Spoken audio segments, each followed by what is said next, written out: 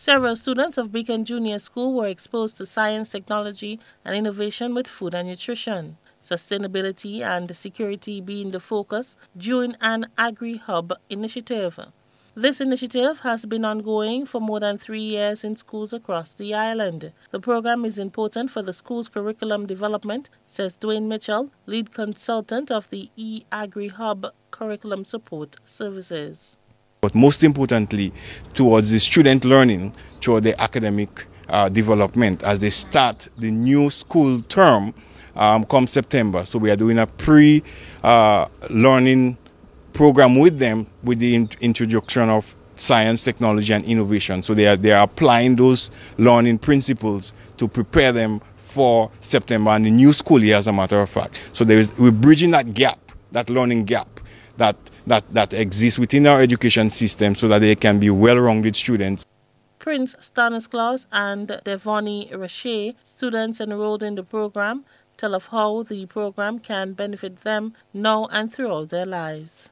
Putting me because I am learning that and I can teach other people how that we can preserve and keep food security upheld. It boosts our food production by um, by letting the pollinators do what they need to do.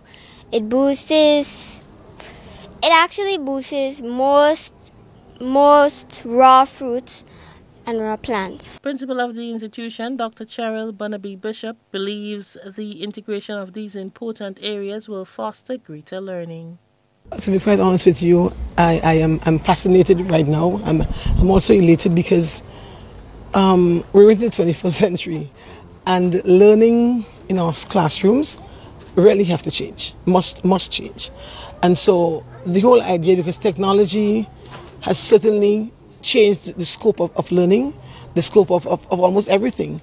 And um, it's important for children now to see the link between what their, the traditional subject areas that they're, they're accustomed to cover and now see how technology can now integrate all of them.